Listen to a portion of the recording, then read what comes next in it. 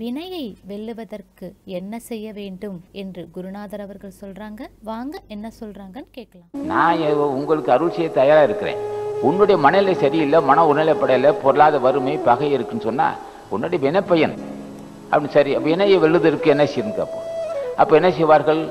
அப்போ அவங்ககிட்ட கேட்குறான் ஆசானை கேட்குறான் வினையை விடுறதுக்கு நீ தான் அருள் செய்யணும்னு கேட்குறான். அப்போ மன உணலைப்படவில்லை அப்போ என்ன செய்வார்கள் ஞானிகள்?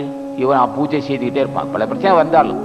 அப்படியே நானே இப்போ முன் செய்த வினைதாயா நான் யாரும் மறுக்கல. நான் செய்த பாவத்தை அனுபவிக்கிறேன். ஆனால் நீ தான் பெரியவராச்சே உன்னுடைய உன்னுடைய திருவடியை சமர்ப்பிக்கிறேன். நான் செய்த பாவிதான். மன உணலப்படலை கொடிய வறுமையும் நோயும் பிணியும் பிரச்சனையும் பகமையும் சூழ்ந்து என்னை வாட்டுது எப்படி தான் முன்னேறுவதுன்னு கேட்டான். அப்போ உன்னுடைய திருவருள் கடாட்சம் பெற்றவனாச்சே நான். நீயே வ- வினைப்பையன் சொல்லிட்டா நான் யார்கிட்ட போகிறது சராசரி மனுஷன் போல் பேசுகிறீரேன் நான். சராசரி மனுஷன் தான் சொல்லுவோம் வினைப்பையன் அனுப்பிச்சிட்டு பொண்ணு. நீ எப்படி சொல்லலாமான்னு? உண்மைதான் நீ சொல்வது நியாயம்தான்.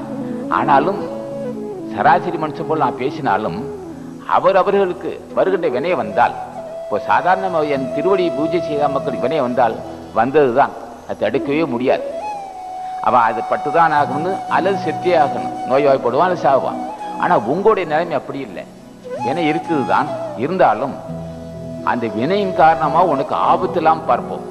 அந்த வினை காரணமாக மற்றவனுக்கு வந்த வினை வந்தது தான் அது அதில் ஒரு நஷ்டம் வரும். ஆனா உன்னுக்கு வர உங்களுக்கு வர சில துன்பத்திற்கு மறு பரிகாரம் உண்டு. உங்களுக்கு ஆபத்து இல்லாமல் அதை காப்பாற்றுவேன். அதான் நாங்க உபாயம் செல்லானர். உண்மைதான். யாருக்கும் அந்த உண்மை. அப்போ நமக்கு ஆபத்து வராது.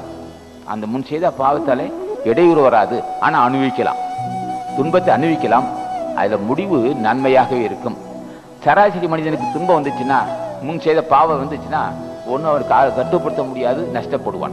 ஆகவே ஞானிகள் இப்ப சொல்வார்கள் நீரே பெரியவராச்சே வினையை வெல்லுகின்ற வல்லமை உள்ளவராச்சே என்னைக்கு உன் வினை பையன் என்று சொல்லுவதில் என்ன நியாயம்?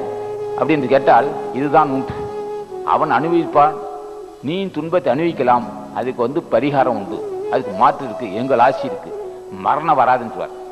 அப்ப வினை எப்படி பகுதி பகுதியாக அனுபவித்தே தீர வேண்டும். முன்னை வினைவரின் முன்னுண்டே நீங்குவார். திருமூல தேவர் சொல்வார் சாப்பிட்டாதான் போகணும் கொன்றால் கொன்ற கொன்றால் கொன்ற பாவம் தின்றால் போவோமா? நம்ம செய்த பாவம் அனுபவிச்சு ஆகணும். ஆனால் அதுக்கு பரிகாரம் இருக்குன்னு சொல்லுவாங்க. ஆக இந்த துறையில் வருகின்ற மக்களுக்கு நோச்சகதி அடைய வாய்ப்பு இருந்தும் என்ன செய்யுது? அதுக்குரிய அறிவு அதுக்குரிய பக்குவம் அந்த ஒரு வாய்ப்பை நீ சொல்லி தராததால் ரெண்டாவது ஒரு மனிதனை வந்து பலகீனப்படுத்துவது இந்த லோபித்தனம். இந்த லோபித்தன் இருந்தால் அவனை முன்னேற முடியாது. தலைவன் ஆசி இருந்தால் அந்த இதயத்தில் கனிவு வரும். இதயத்தில் கனிவு இருந்தால் தானே இந்த லோபித்தனம் தீரும்? ஆசானை கேட்க வேண்டும். நீ பொருளை கொடுத்திருக்கின்றாய். நான் செய்த பாவம். எனக்கு லோபித்தனம் இருக்கு.